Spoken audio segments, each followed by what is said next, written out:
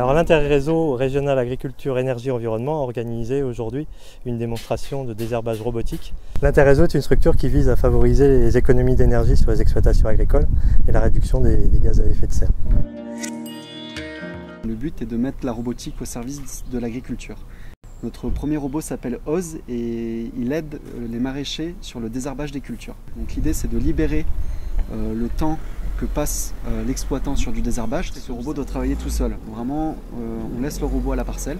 Si jamais lui rencontre un obstacle ou que par exemple il n'a plus de batterie, il envoie un message par texto au producteur pour lui dire qu'il s'arrêtait de travailler. L'idée c'est de le faire passer dès le début de la culture pour tenir la parcelle toujours très propre.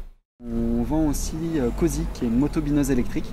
Donc ça s'approche beaucoup du motoculteur, hein. c'est un outil euh, beaucoup plus simple que le robot.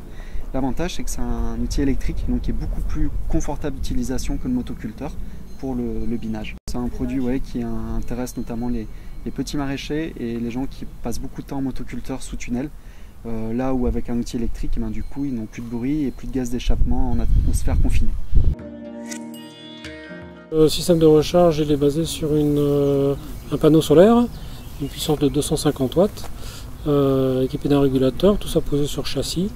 On branche donc directement le robot euh, qui est en batterie 24 volts sur le régulateur et on charge en direct euh, pour une durée de 3 à 4 heures de rechargement à peu près pour recharger pleinement les batteries. L'intérêt c'est que ce soit simple à mettre en œuvre, simple à brancher et ça fonctionne immédiatement dès qu'il y a du soleil.